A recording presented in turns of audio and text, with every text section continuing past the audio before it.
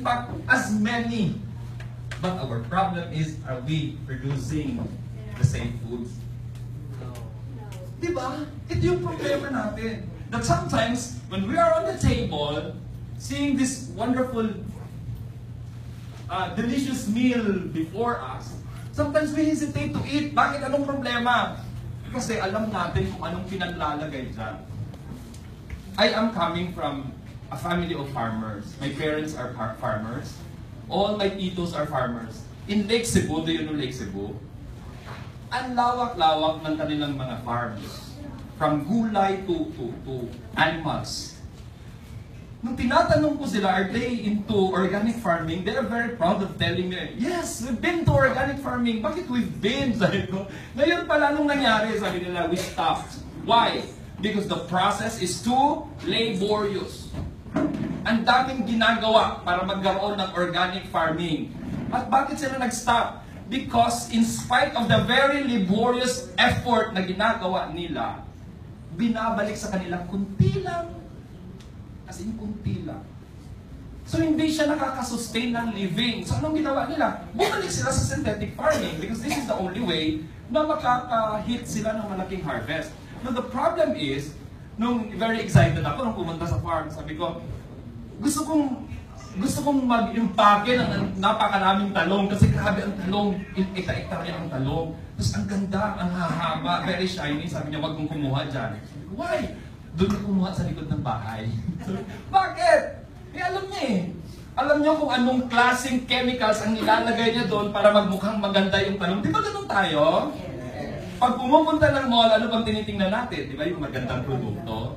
Hindi natin alam, sabi ng uncle ko, pag ikaw nakahawak ng isang magandang kamates galing sa mall, kung pwede pa i-brush mo yan para lang achieve mo yung food security na yan. Hindi pa rin. Why? It's full of chemicals. Now, growing our food is the best way.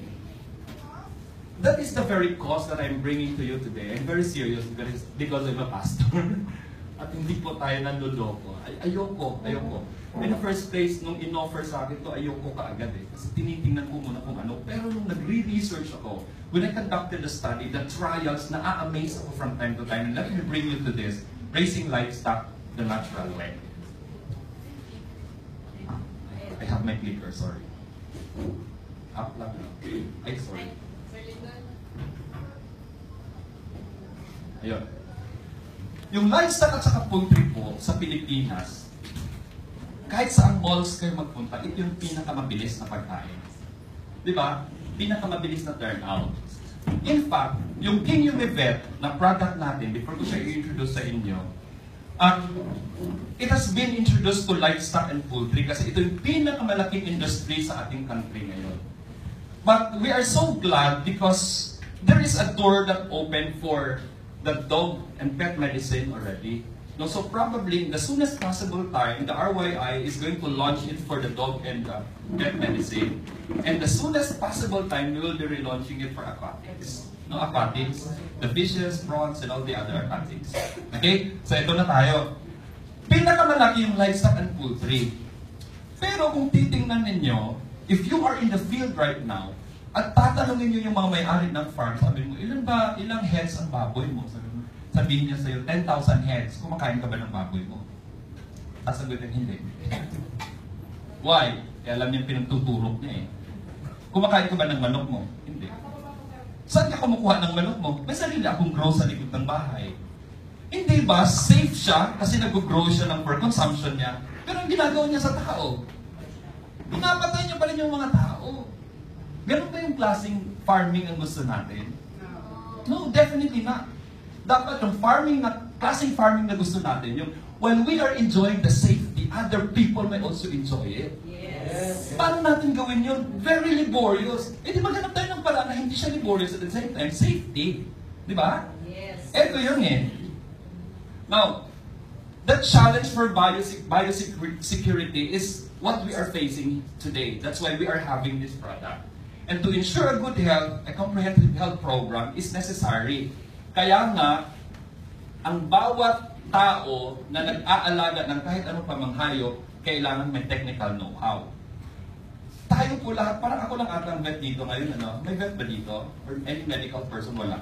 Parang ako lang ata, no? Kailangan kasi ng technical know-how yun. Hindi ko kayo dadalhin dun sa technical aspect. Kasi medyo talagang, medyo technical yung terms natin. I'll- Allow me to bring it into the layman's term para magkaintindihan tayong lahat dito. Ano?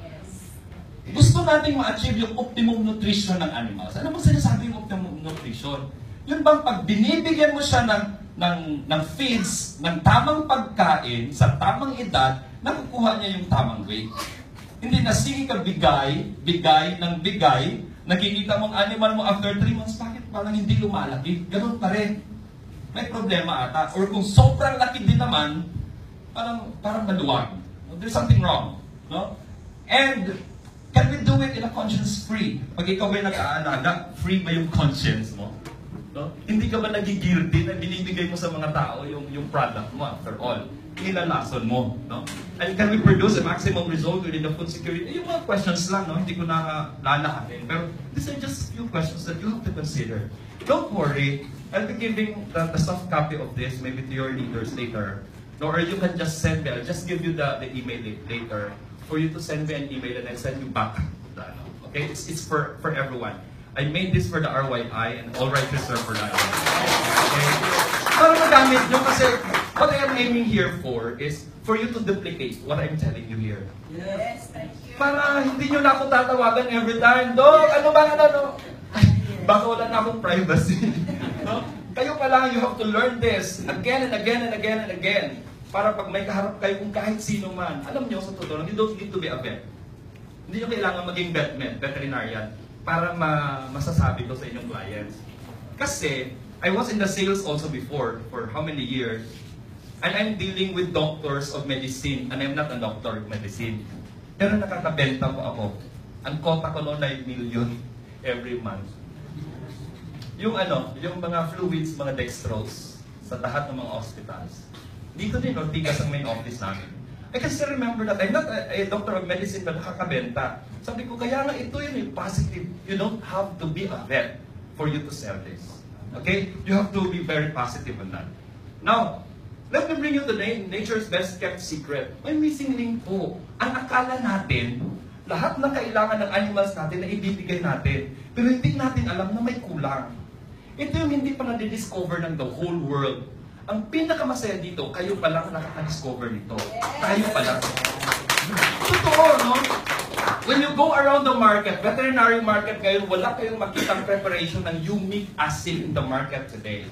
Ano bang meron doon? Component ng feed premix. Yung premix, yung mga mga rations, mga iba-ibang klaseng feeds na pinaghalo-halo at may portion doon na humic acid. Yun lang yung makita mo, but you cannot find a pure humic acid in the market today. And we are the first. Okay? Now, akala natin yung vitamins lang, minerals lang, okay na, pero hindi natin alam may third nutritional element na mas kailangan-kailangan ng animal natin. And this third nutritional element is somewhat called as Everybody read. Humus. Sino naka-remember ng humus sa practical arts noon, nung elementary? May practical arts pa kami. Naabutan ko yun. Matanda na rin ako. okay. Sa practical arts noon, sabi ng teacher natin, gagawa tayo ng humus. Anong anong gagawin ng humus? Lahat ng mga decay materials, mga dahon, mga lahat-lahat ng mga bulok ng mga kahoy, iipunin natin, i-compose natin pag ma, mag, mag, ma-decay na siya. Yun ang humus. Di ba sabi? Kaya ang tao pag namamatay, nagkaka-award, binibigyan ng post-humus award. Kasi patay, di ba? Lupa, bumalik sa lupa eh. Ganon yung humus. Pero, tingnan nyo, ang totoong meaning po ng humus, this is the organic portion of the soil that remains after the millions of years of microbial decomposition. Hindi natin kayang gawin yon. Because this is a product of millions of years of microbial decomposition. Sino makakagawa niyan? 65 lang ang buhay natin. eh. No? Usually hanggang 65 na lang ngayon. This is millions of years. And yung level ng lupa, may isang level dyan ng lupa na nag-contain ng humic acid. That's the stratum of the soil. In fact, sa totoo lang, ang humic acid po is isang lupa lamang. No? Something special? Lupa lang siya. Pero it's a highly processed and a special kind of soil. Ayan siya. The principal component na makita hindi dito sa Pilipinas. Can you remember, di ba pag may mga baboy noon, sasabihin ng nanay, pabayaan mo yung baboy dyan. Kakain ng lupa yan. Di ba? Remember nyo? Pinapabayaan yung baboy kumakain ng lupa. Totoo naman yan eh, sa backyard, di ba? Totoo naman. It makes your baboy healthy. Kasi may unique acid ang lupa natin. The problem with the Philippine soil, we can only provide less than 2% of the unique acid. It's not enough. Kahit isang hektarya pa ang kakainin ng baboy is not enough to give him, to give the, the animal the right humic acid that he needs. No? Now, what is the function of the humic acid? Anong effect nito sa animals? Deserve nyo ang mga questions nyo mamaya pag open forum tayo. Okay? Lahat-lahat ng things na gusto nyo malaman. Unang-una sa lahat, it increases the production of the red blood cells up to its normal level. Normal level. Ibig sabihin, kung ano yung normal, yun ang aabutin niya. No? On the normal level. Now, alam naman natin, pag healthy ang dugo, healthy ang animal. Kahit tao, pag abnormal ang dugo, walang, may problema talaga. No? Healthy ang dugo. Ano ang ibig sabihin pag normal ang red blood cells? Normal ang hemoglobin. Anong hemoglobin? Ito yung nagkikarry ng oxygen sa katawan ng hayop. Pag normal ang transportation ng oxygen, normal din ang transportation ng nutrients sa katawan, normal din ang transportation ng essential minerals sa katawan, normal ang body functions, normal ang transportations ng lahat ng bagay na essential sa katawan ng animal. May hahanapin ka pa? Wala na. Kailangan normal lang ang dugo. Yun lang yun ang pinaka-after mo. Ino-normalize mo ang dugo, tatanggalin niya ang lahat ng mga pwedeng mag-cause ng abnormal na flow ng blood. That is the function. Pag normal ang RBC, ibig sabihin, mabilis din ang healing times.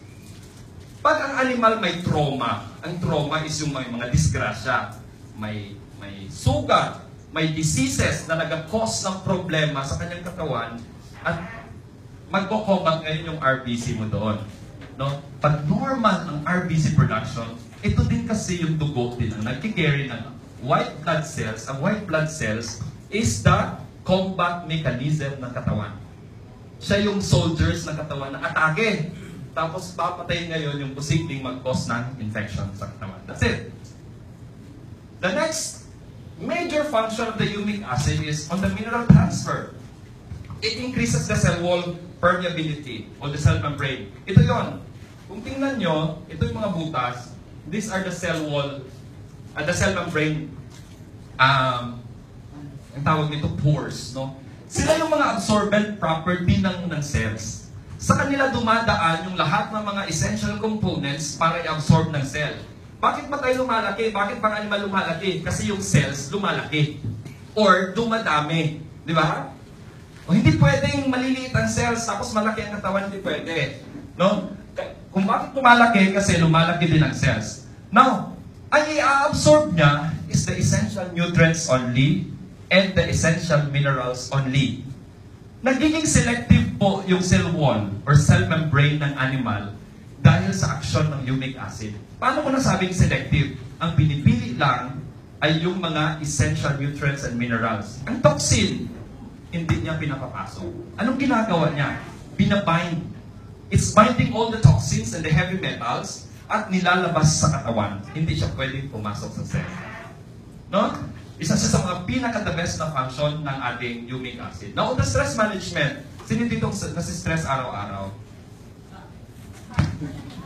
Bakit? Traffic. Traffic! Gutom! Nag-break ng girlfriend! Ang dami-dami, di ba? Minsan sa sa pamilya, Third party. nag third party, nag-aalaga ng mga bata, ang dami-dami. Nakaka-stress talaga. And you know what? Pag stress kayo in the day, okay pa sa umaga, pagkahapon, anong nangyayari? Di ba sakit na ng ulo? Wala ka ng gana, gusto mo pa kumain, ayaw mo na. Ano na daw? Pangit na. Pangit na. Kahit mag-smile ka pa, pangit ka na. no? Kasi stress ka na masyado. Why? Kasi nagdi-display yung kanyang mga free radicals ang tawag dyan. yung mga stress-causing factors. Bakit? Paano nangyari yon? Kasi ganito, ang stress management ng katawan natin. Ang katawan natin, may sarili tayong stress receptors. Example lang to. Example, may lima tayong stress receptors. Tapos, may limang stress na pumasok. Pagpasok ng limang stress, magbabind ngayon sa stress receptors natin. Di ba? May free stress, wala. Wala. Ibig sabihin, okay ka pa. Kasi walang stress sa free stress eh. The problem is if you are meeting so many stress every day and your receptor is only 5. Example, 10 ang stress. Nag-bind yung lima. Saan napunta yung lima? Litaw. Floating. Ano mangyayari sa floating stress na yan? Ito ngayon yung mag exhibit ng sakit sa katawan. Yung nagkakos ng headache nyo. No? Yung din sa animals, akala nyo hindi nasa-stress ang animals. Ang sobrang lamig po na kondisyon, especially ngayon tag-ulan, problema sa animals yan. Pag may broiler kayo, sa panahon ng tag-ulan, hindi kumakain yan.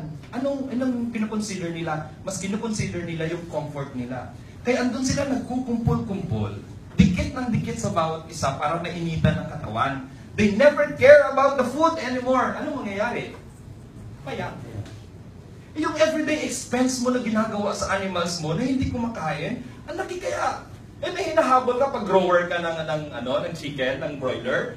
May hinahabol ka na days. Eh, dapat ang 27 days, naka 1.3 na ako, kilograms. Yung isang araw na hindi kumain yan, sigurado babalik yung weight niyan. Lugi ka. Eh paano kung aabot ka ng 30 days, 1.3 ka pa rin? Sa tatlong araw na operational expenses, baka wala ka ng tubo. Isang malaking problema. Pag sobrang init naman ang panahon, ang mga animals, they will never take care of the, the food. Ang inong ginagawa nila, takbo ng takbo ng takbo, ayaw didikit sa mga kasama kasi ang ina-after nila ma-comfort sila. Ngayon, anong ginagawa? Para ma-comfort pa sila kasi sobrang init. Inom na inom na inom ng tubig. Naliligo sa tubig. Nauubos ang tubig. They will never care about the food anymore. Sige lang sila tubig, busog sila sa tubig, pero walang laman ang tiyan nila ng totoong food. So ang problema, stress. Di ba? Kaya nga dami-daming sakit sa panahon ng tag-init at saka taglamig. Stress yun eh. Now, anong action ng uric acid? Binablock po niya nire-reduce yung production ng stress-causing hormones na galing sa katawan mismo. Para hindi na mag-produce ang katawan ng stress hormones at para mapapacilitate niya na yung pagpapakain sa animal. Nagiging kalma po yung animal natin pag may humic acid on the feeds or on the water. And this is really very true. Tulala ata kayo. okay. okay. Tuloy tayo? Yes. Alright. The next one, microbial interaction. Sasabihin ko po sa inyo, yung Humivet po natin, hindi siya antibacterial. Hindi siya antibiotic. Ah, hindi siya antibiotic. Baka sabihin nyo, oh, may sipon ng ano mo, ito na lang gamitin mo, antibiotic. No, it's not an antibiotic. But remember, it has an antibiotic effect. Iba yung antibiotic sa antibiotic effect. Ganito yon. Nakita ko sa inyo ha. Ito yung sakit.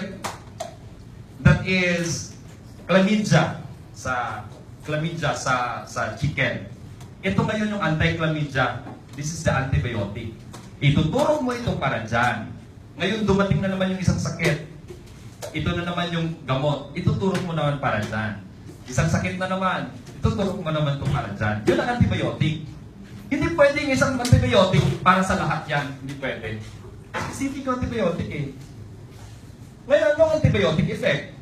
May antibiotic effect. Ang action niya is to suppress all the bad microbes. Lahat ng sakit na nag, lahat ng ng bacteria na nagkukos ng sakit, ang tawag dyan sa medical is pathogenic bacteria, tinitira ng isang object lang. Yun yung anti antibiotic effect. Wala siyang pinipili, basta bad bacteria, patay sa kanya. Yun ang action ng uric acid. Amazing? Yes! Yes, that's true. Tingnan nyo. Hindi lang niya basta-basta sinusuppress yung bad microbes. Sinistimulate niya ang good microbes. Naniniwala ba kayong kailangan din natin ng bacteria sa katawan? Yes! Kailangan natin. Pero ang bacteria na kailangan natin, hindi pathogenic bacteria. Kundi non-pathogenic bacteria. Ano yon? Yung mga helpful bacteria. Di ba? Okay ka ba dyan? yung mga beef videos, di ba? Ganyan. Yung totoo, kailangan natin. Anong gamit nila? They help in the synthesis of the food para maging ah, usable sa katawan. Yun ang action ng ah, ng non-pathogenic or the normal commensal or the normal microflora ang tawag nila na pag andyan lang, nakikita lang sa bunganga, sa tiyan. Yung baka, hindi siya nakaka nakakatunaw ng pagkain kung wala siyang bakterya. Di ba ang baka apat ang ang stomach? Alam niyo yon?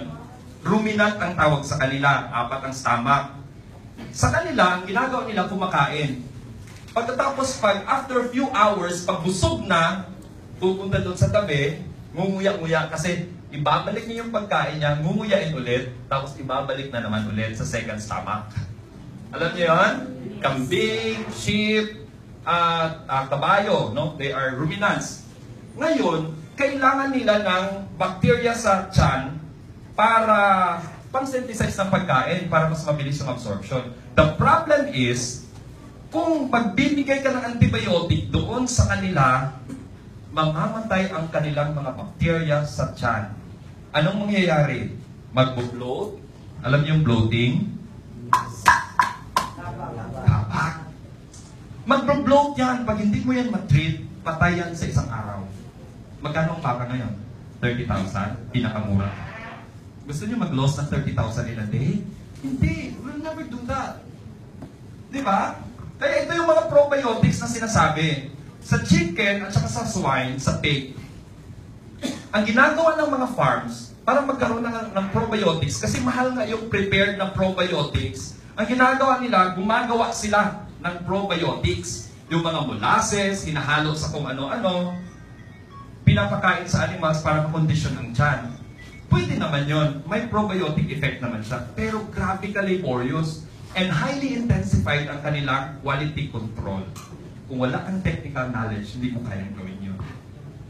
Di ba? But the humic acid has the probiotic effect. Ang bilis gamitin. Okay? Tuloy tayo? Yes. Now, on the immune system, ano bang action ng immune system? Ito yung pinakamaganda talagang nag-goosebump ako nung na, nung na-research ko to at saka na-try namin sa, sa animals. Alam niyo ba na ang problema talaga ng animals, yung pagbaba ng immune system, sa dami-dami ng mga sakit, araw-araw na ginagawa, nagkakaproblema ang animals natin. Na-remember niyo pa the last time, parang, parang ilang months ago pa lang, may isang NCD, no, NCD strain dito sa Luzon na dumating. Nagka-outbreak ang lahat ng mga farms ng NCD galing sa Bataan yun. Nung taga Mindanao, syempre atake sila kaagad. Pinuntahan nila yun. Binaksin lahat ng mga animals, pero hindi tumalab yung vaccine. Bakit? Ibang strain pala ng NCD yung lumabas. Ibang strain ng NCD yung lumabas sa Mindanao. Ibang tindi. No, kung hindi mo itataas yung immune system mo sa panahon ng outbreak, sigurado taog talaga ang farm. Hindi lang naman 10 heads yung farm eh. Di ba? 40,000, 70,000 heads. Pag nataob yan, sigurado patay ang negosyo. Kailan ka babawi? 10 years na naman ulit. Di ba? Kaya nga kailangan ng immune system mataas. Kasi kahit anong disease lang ang lumalabas araw-araw. Di ba? Hindi naman tayo palagi na, na kung ano lang disease dyan, yun na lang iti-trigger natin. Kailangan i-prepare mo yung katawan. Di ba kahit sa tao, yung dengue noon, iba, ibang klase. Dengue ngayon, iba na naman. Di ba? Anong ginagawa ng doktor pag may usong dengue? Di ba sasabihin ng doktor sa'yo, itaas mo yung immune system mo. Magre-reseta siya ng maraming vitamin C. Laklakin mo. Sabi niya, para tataas yung vitamin C, ah, yung, yung immune system mo. Kasi, aatakihin ka man ng kung anong virus dyan, tatayo ka pa rin. It will not affect you. Ganon din yung immune system na purpose. Ang humic acid is acting on the immune system. Alam nyo ba, ito nga, it increases the T cells, the helper T cells, and the suppressor T cells. Ano to sila? They are the T typos cells or the immune cells ng katawan. Sila yung mga klase na cells na pag may infection, agad-agad na nagre-respond. Combat ka agad. Hindi na pinapatagal patagal yung infection, combat ka agad. Ngayon, kung mas masyadong marami yung infection, konti lang ang T cells, sakit pa rin. Dapat marami yung T cells para sa infection na darating. Now, In US today, it's 70% of its study already, and as soon as possible time, they're going to, to launch this. Ilo-launch na nila sa market. The most potent drug against HIV is humic acid. Mag-research kayo. Um, talaga nag-goosebump ako nung nakita ko yung study na ito because this is a scientific study. Tingnan nyo, hanap kayo ng humic acid on the internet, on, on human. Kasi ang first talaga na indication ng humic acid is on the human. Ngayon lang natin ito na ipasok sa veterinary medicine, especially sa Philippines, kasi medyo conservative yung preparation. Baka hindi natin kaya yung ganung sophistication ng preparation. No? Pero ito, at least we have now no, the, the humic acid in our hand.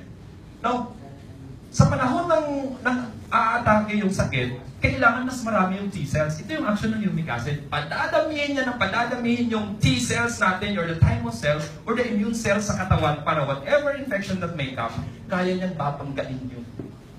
Hindi mo nakikita yan, hindi mo nakikita sa katawan. Ayun yung T-cells, hindi mo nakikita yan. But it's working in there. Totoo. No? Yung ano, yung papa ni Garvin, ay sorry, hindi ko pala i-recommend. Because this is for veterinary use. Pero the indication in fact is including human. Yung papa ni Garvin, tag, tag 3 months na problema sa sa bowel movement. Umiiyak sa CR. Sobrang sakit kasi hindi siya, wala improper ang kanyang disposal. Nag-unibet. totoo, totoo. Araw-araw siyang nagbabawas talaga ngayon. Totoo, no? Grabe. Ikaw din. Ako din eh. Sige, pag-usapan natin mamaya. okay, ito na tayo. It also has an anti-inflammatory properties. It's acting upon the, the muscles and the joints for inflammation. May natry kami yung aso sa Davao. Ayaw maniwala nung vet na classmate ko eh. Ayaw, may clinic siya. May aso siya na confined for 3 months. Confined sa clinic niya. Sabi ng may-ari, sabi niya, Dok, meron ba tayong process dyan na pwede patay na lang? Niya. Ano yung tawag doon? Yung mercy killing. Sabi niya, pwede yung mercy killing na lang. Eh, nakakaawa eh. Hybrid yung aso. Eh, ano ginawa? Kasi inflame yung mga paa, hindi makatayo. Sabi ko, Dok, try natin yung ano, King Umibet. Binigyan ko siya, binigyan ko talaga ng King Umibet. Ayaw naman maniwala eh. No, we kept on trying. After 4 days po, nag-regress yung inflammation. Nawala. In 7 days, lumagad yung aso. Ay, nawala. Right before my eyes yun. Hindi ako pwedeng magsinungaling sa inyo. That is right before my eyes. It happened po. That's why nag-sign up siya eh. Ng ano, ng RYI. Yung doktor na yun. Kasi distributor na siya ngayon ng K9 Society sa Davao that has a 5,500 members in Davao City. Grabe! That is Doc Annalyn Peralta Arakel. No? If you want to search in the YouTube, ay, the, the Facebook. Now, ito. Ah, yung anti-inflammatory properties, it exhibits the anti-inflammatory properties doon sa lahat ng mga swelling joints, in, joints at saka muscles. At dahil dyan, malaki, okay, malaki, teka, ano ba yun? Ayun. Malaki ang impact sa animal. Alam niyo ba na yung baboy, pag may inflammation yan, at time to be slaughtered na magre-regress ang quality ng carcass, ang quality ng karne ng baboy. Totoo yan. Madali mapanis ang karne. Kung class A ang ang slaughterhouse, pag may inflammation ng baboy mo, reject ka agad yan, condemn. Hindi yan makakapasa sa NMIC. No, sa National Meat Inspection. Hindi yan makapasa. So kung hindi makapasa yung baboy mo na may inflammation, anong mangyayari? Lugi ka. Nakatry na kayo dito maglitson ng sarap-sarap. Pag ito, grabe yung sarap ng lechon. Tapos, sige, hihiwain na. Tapos, anong lumabas? Gatas. Nakatry na kayo? Ako nakatry right before my eyes talagang gatas. Ano yun? Inflammation yun eh, sa pigi, na hindi na-treat. Ngayon, nung nilitson, na na yun eh. Kaya nung pag-slice, creamy, saucy.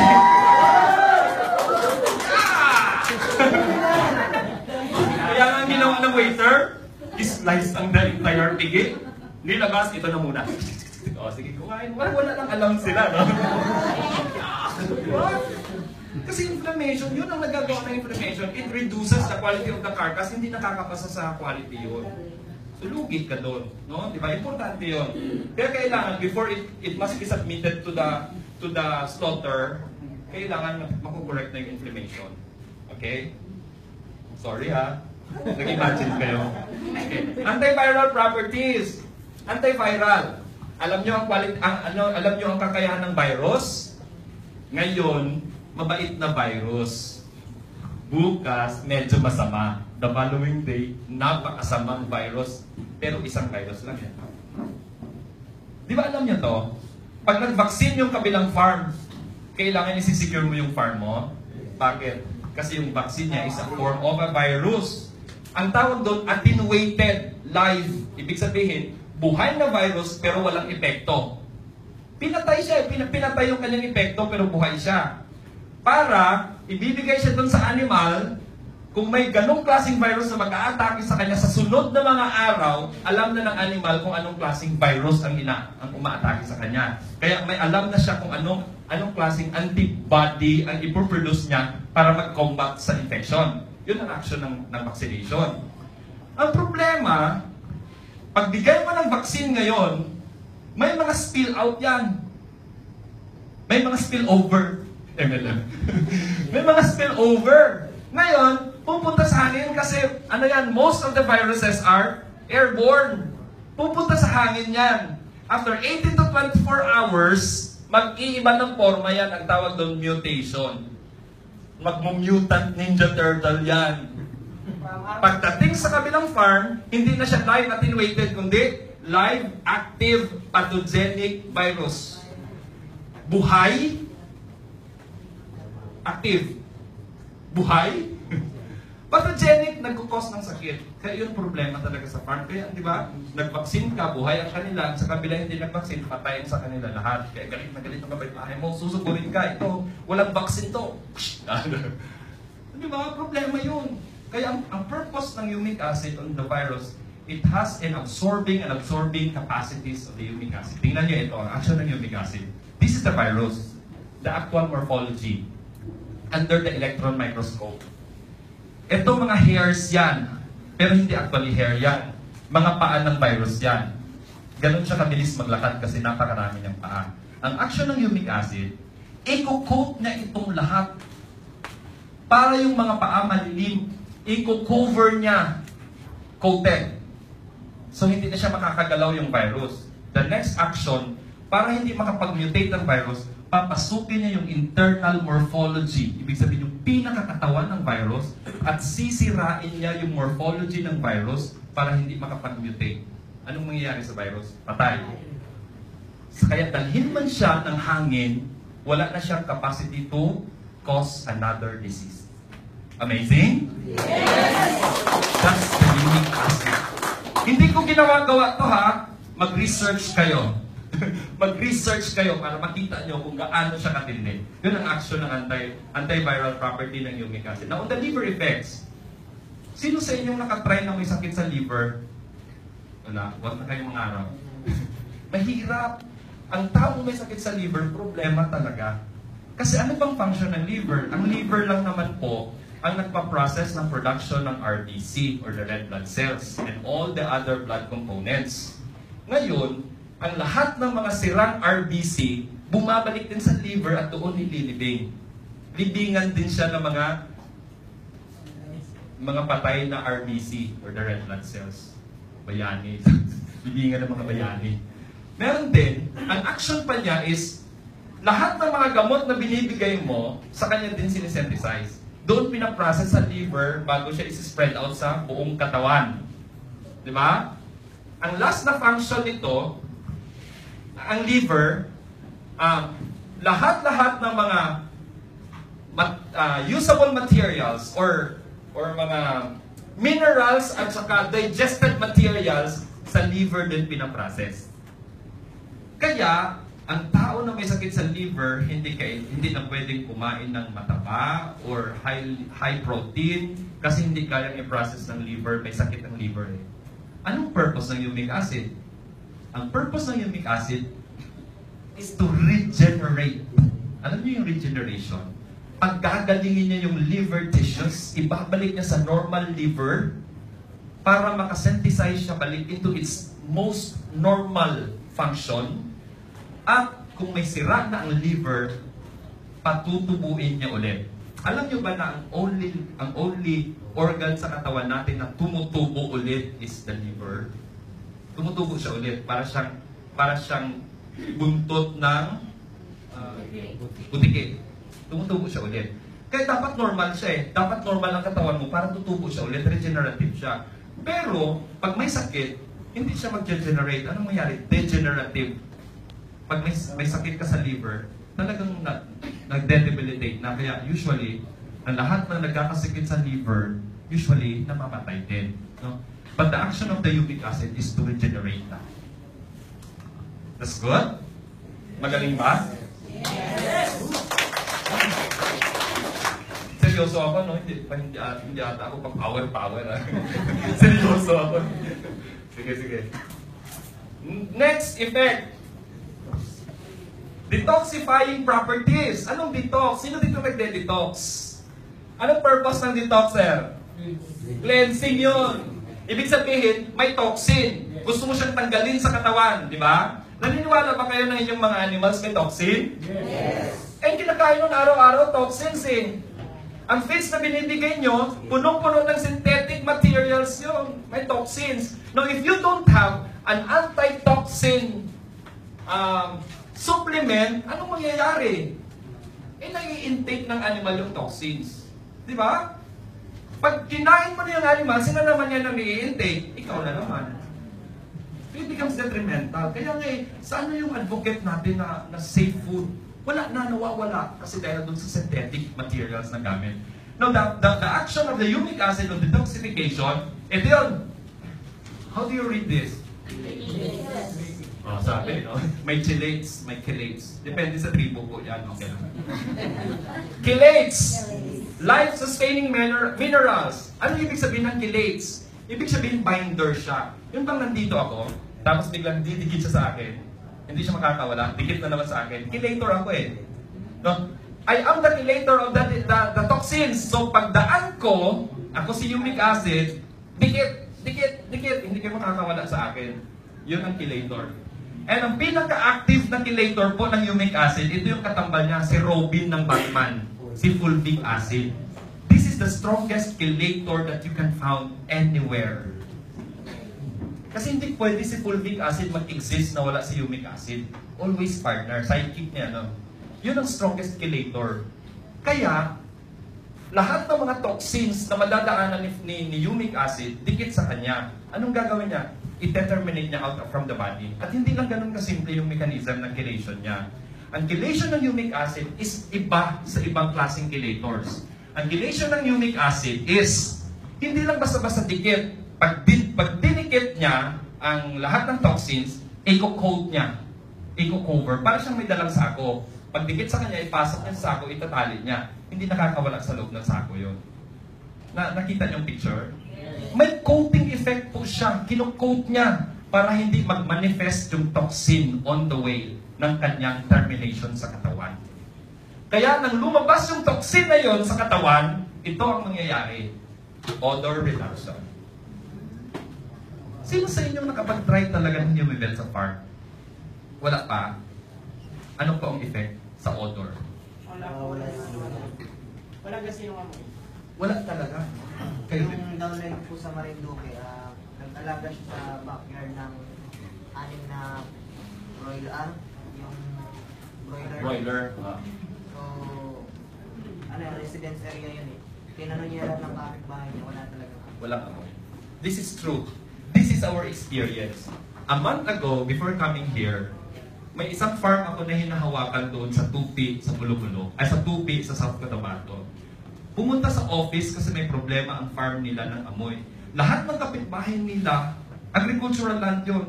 Problema, nagre-reklamo. In fact, kinasuhan na sila dun sa barangay. Kasi maamoy talaga yung 70,000 heads yun. Ng chicken, ng broiler. Nung pinuntahan namin, dinala ko, dinalahan ko sila ng 35 sachet. Initial pa lang yun kasi the entire process, umabot sila ng 100 plus na kilo bibet eh. No? Yung dinalahan ko sila ng 35, nagkasama kami ni Tony. Pumunta kami doon. Sabi niya, talagang mabaho. Talagang mabaho. No? Binigyan namin sila na ano. After six days, binalikan namin. Nang binalikan namin, sabi, nasa yung amoy? Wala na talagang amoy, zero. Ngayon, iba na naman ang reklamo niya. Dami naming mortality. Sabi niya, tinignan ko yung record. On the first week, before giving an, uh, the, the King Yumibet, 96 araw-araw. 90 plus ang patay. Pero nung binigyan ng Yumibet, 22. May patay pa rin, pero 22. Ang layo na kaya. Diba? Ito grabe. Kaya na-amaze ako. Sabi niya, medyo, medyo hin- ayaw niyang maniwala yung may-ari. Ayaw niyang maniwala. Medyo mataas yung ego. Kasi matagal sila sa business. Tapos biglang may umibet na pumunta, nasusolve yung problem. Sabi niya, "Eh, kasi ano eh, may patay pa rin eh. Sabi niya sa akin, hindi. Tingnan lang natin. Tapusin mo yung paggamit ng umibet. Tingnan natin kung anong resulta talaga. Kaya sabi ko, before we leave, sabi ko, talagang bothered ka. May I please pray for you? Nabigla siya sabi ko, kala ko bet ito. Hindi po, pastor po ako at the same time. So, we prayed together. Tapos sabi niya, ah, hindi talaga negosyo ang pinupunta niyo. Sabi ko, hindi po, gusto namin tumulong. Di ba nakakatamat ng puso yun? We are here because we want to help the farmers. Right? Ito yung good news na na-receive natin. If you think that this is a good news, then why not share it? Di ba? Eh, tayo pala nakakaalam, sila hindi pa eh. Dapat malalaman din nila to. Now, the auto reduction is 64% starting point yon. Hanggang, hanggang saan yung point na yon? Up to zero. Up to total elimination of odor yon. That is very true. Right before me, I have experienced this. Alam mo, sa Davao, yung president ng Canine Society, meron siyang seven breeds na malalaki, meron siyang five breeds na maliliit, na aso. Ang baho na nun. Nasa subdivision siya nakatira. Problema niya, nirereklamo siya ng kapitbahay. Kasi subdivision, maliit yung area. Ang ingay pa. Ngayon, ginamitan niya ng King Yumibet. Binigyan ko siya ng isa kasi ayaw maniwala. Binigyan ko siya ng isa ngayon, hinanap ako. Ay gusto mag-sign up. Bakit? Walang amoy.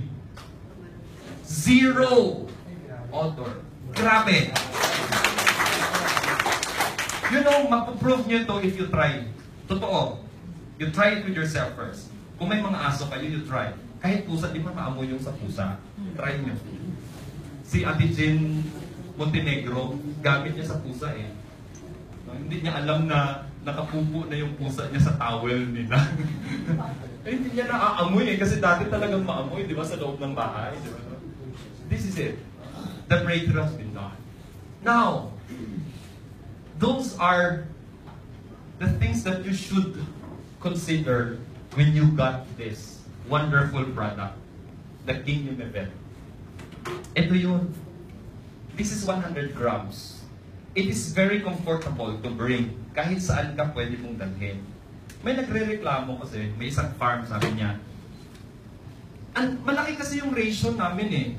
Yung ration namin, we are uh, we are formulating tons of feeds every day. Kailangan namin ng isang sako o dalawang sako, ganyan, every ration. Sabi niya, ay hirap naman yan, ititier ko pa yan araw-araw, no? Araw-araw, ang dami-dami ko magagamit. Sabi, gusto ba isang sako na lang? Pero tinuruan ko siya ng ano.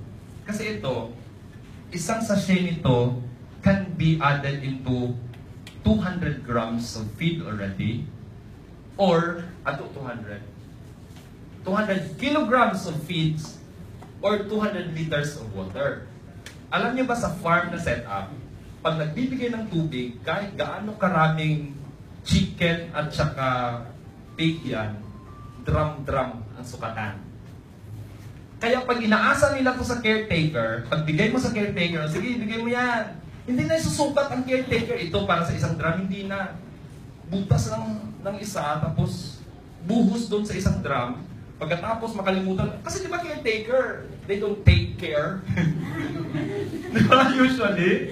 They don't take care. Kaya tinatanong mo, oh, ilan yung naibigay mo? Ano, teka, nakalimutan ko ata. Ito walang problema. No? Bibilangin mo lang yung mga packs mo pagkatapos kung ilan na ang naibigay. Walang problema. Because this one is intended for 1 gram or 200 kilograms of feeds already. So walang problema, huwag man kayong maghanap ng sako-sako. Ito lang, okay na. No? Ah, ito yung component. Humic acid, sabi ko kanina, makakita kayo ng humic acid as an additive only. Pero dito sa ating King Humibet, this is 76% humic acid. And this is pure, all natural, organic thing. Paano ko nasabi? Kasi ang consideration ng isang organic, pure organicity ng isang material is 70% lang. Pag mag- 70% organic ka, ibig sabihin pure yun. And we are 76. Diba? Now, ano yung 14% sodium salt, asin? Para may, may lasa siya ng konti. May lasa siya ng konti. Pero other than the lasa, ito kasi yung nagpa-facilitate sa pag-flow nito sa sa blood system. Di ba yung sodium, kasi naka-sodium base tayo. Yung tinhumus po, ginagamit na ng may mga babuyan, di ba, in the past. Di ba meron na, experience kayo. Humus ang ginagamit nila. Remember, potassium-based po yon. Hindi siya maganda sa katawan ng baboy pag marami. Hindi na siya nakakatulong. Baka maging detrimental pa siya. Kaya lahat ng gumamit ng King Humus sa baboy dati, isi-shift nyo na to King Humibet. Hindi naman sila kompetensya, pero this is the most specific for them. Hmm? Wala namang pinagkaiba sa presyo, the same lang. No? Alam nyo, yung organic matter nito is 92%. Yung water solubility is 98%. Ipapakita ko sa inyo kasi mag-open. Ang gusto kong mag-open. Hmm. Mabilis to, no? Sino ba na nakakita na ng King Humibet naman? Itim. And this is mesh dark brown uh, color, in fact black, no, almost black. And uh, the physical consistency is powder, highly soluble, and 80%, 80 mesh. Ibig sabihin yung mesh na yon is the binding component sa feeds. Pag ihalo nyo sa feeds, siya yung didikit. Yung mesh component niya, siya yung didikit sa feeds. Kaya hindi siya nasi-shed off sa, sa, sa feeds. Now, ito siya ha. Even without shaking it, mabilis po ang transport ng ng molecules nito. Without shaking it, nakikita ninyo, ganun yung solubility niya. Hindi kayo magkakaproblema. Yung iba sabi ng iba, paano yung doc, ah, pag gamitin namin yan sa tubig, baka babara doon sa water systems namin. Di ba usually ganun ang problema? Ito po hindi. Because this is highly soluble. In fact, kung nafe-feel po ninyo ang powder nito, mas fine pa po ito sa powder na ginagamit nyo sa mukha nyo. Totoo. Di ba? Kaya yung absorbability nito mabilis, kaya hindi ito problema doon sa clogging ng water system. Pwede pala yan daw sa, sa mukha. Why not? Kasi kung may detoxifying property, kaya nga ito yung dinidiscover ko eh. Sa, sa aso, tinitingnan ko rin kung paano ko siya magawa na ibigay sa aso in the, the easiest way. I'm trying to put this inside a capsule. Kasi may capsule na nabibili, no? Tapos ibibigay lang sa aso. Pero later na, huwag natin pag-usapan yun. Yun. So yun. Yung physical consistency. Nasanay, sir yung aso kung saan talagang uh, nainom niya. Hmm, nainom. Oh. Kasi may ibang aso na pag nakita itim, talagang back off. Oh, yan. Pero pag na, ano, na-taste niya na, Yeah, pag naumpisahan. Oh. Kaya pag may aso kayo na maliit pa, umpisahan nyo na habang maliit pa. Kasi mahirap na baliin yung mga sangang pulugas. Yeah, oh, yan, pag-usapan natin ha. Now, mamaya na tayo dyan ha. Ito, sabi ng iba, ano ba yan, Doc? Ah, may, may dosage requirement ba? In fact, wala. No overdosage, no toxicity. Kahit mag-research pa kayo, no record of toxicity around the world. Safe ba yan for human consumption? Ayokong i-recommend, pero iniinom ko ito. Sino na nainom na? Yes! Di ba? Hindi ko ito nire-recommend kasi nasa veterinary use tayo, makakasuhan tayo. Pero kung gusto niyo talaga uminom, hindi ko yung pipigilan. Kasi inuinom ko ito eh, no? Even I myself. Mainit sa katawan to eh. Na-activate ka, di ba? At saka napapatay yung mga ano eh, yung mga buhok. Okay. Ah, in fact, ang laki po ng tulong nito sa fertility ng animals ninyo. Kasi yung fertility po, ah, ang action naman ng fertility is on the blood, the RBC production. No? Pag, pag normal ang RBC, normal ang fertility. No? Kaya yung, yung as per record, doon sa amin, may mga liter size na, yung liter size, yung number ng anak, ng, ng mga B8, no? yun ang liter size. May mga liter size na 8 lang before, 9, 10. Ngayon, tag 16 na dahil sa King Event. You have to try this. Kasi talagang it's working. Doon sa mga inahin. Totoo. No, it's increasing the adaptability and the catchability ng, ng sperm doon sa. Uh, plus the increase ng litter size. Yun, totoo yan. And of course, dahil sa increased immunity, mas maraming nakakasurvive ng piglets no? dito sa unibet na ito. Now, ito yung recommended na administration sa tubig at saka sa feeds. Pero you can go even higher. Kaya yung sabi ko sa inyo, yung isa nito, pwede kang aakyat ng hanggang 200 kilograms of feeds or hanggang 200 liters of water. Pwede yon Kasi na, I really submitted this to study. Tinignan ko kung maaapektuhan ba yung concentration niya. Pag, pag binaba mo yung concentration niya, hindi siya naapektuhan. In fact, ang recommend namin, kasi may mga farms na nagre-reklamo kasi ito masyadong mahal, baka maraming magamit, maraming magagamit sa entire process. Pag hindi, ganito gawin natin. Sundutin natin yung effect. Gagamitin mo siya ng ngayong araw, bukas hindi mo siya gagamitin, the following gagamitin mo na naman. Before bumaba yung tama, sundutin mo na naman ulit the following day. Para lang makuha mo yung effect. Kung hindi man maximum, at least kahit papano, natutulungan ka dun sa effects niya. But if you really have this conviction na talagang gagamitin mo siya araw-araw, makikita mo yung maximum effect nito. Okay, we really recommend this on a daily basis. No? Okay. This is our King River. Oh.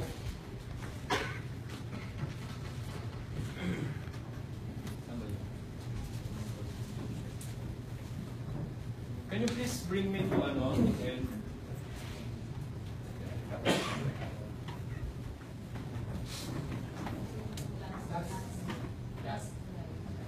Ay, last slide please. This is our King Yumibet. Dahil po mahal namin kayo, kaya binigyan namin kayo ng isang napakagandang produkto. This is highly classified product. At madali siyang hawakan, madali siyang dalhin, madali siyang i-present sa mga tao. No, and uh, you know that when you're going to bring this to the people, you know that you are helping them. And they have to know that you are helping them. Kailangan makita nila yung nag- ginagawa niyo to dahil tinutulungan niyo sila. Hindi dahil nagne-negosyo lang kayo. Dapat nakita nila na tinutulungan niyo sila. Because isa itong napakalaking tulong talaga. Grabe. Ito yan. Kaya ako, ano eh, kaya ako hindi nakatakot kasi alam ko na I am bringing the right cause. No, and um, we are having this cause here. We are having the cause, this cause in the Philippines, this, this advocacy.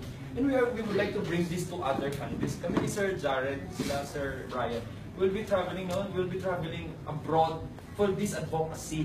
Kasi gusto namin tumulong. Hindi lang sa Pilipinas, the entire world. Para ma-achieve na, kahit paano malaki contribution tayo doon sa totoong food security and safety. Kayo yun. Aalis kayo dito after nito, dala-dala nyo yung ganitong klaseng advocacy. Would be of good use. Yes, seryoso to. Sabi, pastor-pastor to ate. so yun po, no? So this is our, uy, talagang natatapo. Sige na. This is our Human Vet. That your, your animal's optimum health is our concern. That's why we are bringing this. Now, I would like you to open up. May mga things na gusto kayong i-clarify. I-clarify natin ngayon before I leave. Do you have questions? Yes, quick question. Yes. Not about Rebecca. Oh, yeah. Uh, for example, Meron sa po ako. chickens. for example, sa chickens, no? Oo. Halimbawa, you have a flock of chickens, sobrang dami. And may isa na nagkaroon ng sipon. Mm. Siyempre, hawa-haway, no? So, how do you know kung sino yung may sipon? Sa wala. Alam mo ba, before you know that, mas magaling ang caretaker. Grabe kagaling yung mga caretaker sa farm. Ang caretaker, alam mo may mga may mga techniques sila nakikita. Pag may sipon yan, ah, nakikita nila yung surroundings ng ng ilong. Makikita kasi nagvi-visual inspection yan sila. Ang tawag diyan herd ah, ah, herd health. Everyday yan. Nagsi-check yan sila herd health. Parang scanning. Ayun, kunin yan. Meron silang infirmary doon sa farm nila. Yung dito yung lugar ng mga normal, meron portion dyan na naka-cage na lahat ng may mga may sakit, kukunin nila. Pag mag-overweight yung, yung chicken mo, usually nagsispread yung legs, kukunin din nila yan, dal- dalhin doon sa infirmary. pag ang chicken mo hindi nahihirapan dumumi, I mean, pag, pag dumi niya, parang wala lang relax. May problema yan. Kukunin nila yun, i-transfer sa infirmary. Kasi ang dapat na normal sa chicken, pag dumudumi, yung talagang nag, nagpo-force. Ah, ganyan ibig sabihin na papaatras. Ibig- Yun ang normal. Oo. So yun kinukuha nila, alam na alam ng mga caretaker yun sa farm, pag ganun kadami. Kaya nga dapat, pag may sipon, pag marami na rin, ang tawag dyan yung wet droppings. Yung wet droppings na sinasabi, problema nila, pag masyadong malamig ang panahon, bukas may experience, teka, nag-wet droppings kami. Makita mo sa floor yan eh, may mga basa. Pag mag-wet droppings na, magbibigay na sila ng mga antibiotics. But remember, sa totoo lang, yung farm sa Pulumulok na pinuntahan namin, yung nag-test kami ng 2,720 heads for King Umivet, yung kabila, ibang product, yung 2,720 breed, ah, heads. The same age, the same breed, lahat-lahat. Ang mortality dito is 1. Ang sa kabila, 20 plus na ang namamatay. Anong problema? Yung isa na namatay dito sa King Umivet, nadaganan pa.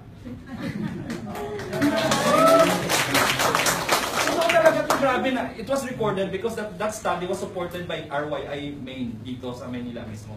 We, we asked the assistants from the RYI Maine nabigyan kami ng ano for this trial kasi this will establish a study later for the entire Umibet system. Totoo yan. Grabe, mula doon nataan eh. Yeah! Alam niyo ba na mas malaki yung market ng King Umibet kaysa doon sa Humus Plus? Kung naintindihan lang natin ng King Umibet, alam mo mas malaki. Kasi araw-araw tong gamit, yung Humus Plus, maghintay ka ng season, then another season, another season. Itong araw-araw to. Alam niyo ba na ang broiler, ang pinakamahaba, 30 days.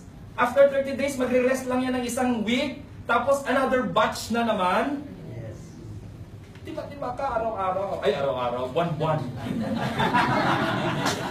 yes po. Next, sir. Sir, ah, kanina kasi nabutan ko yung ano, no? Meron kasi kaming ano, mga gamitan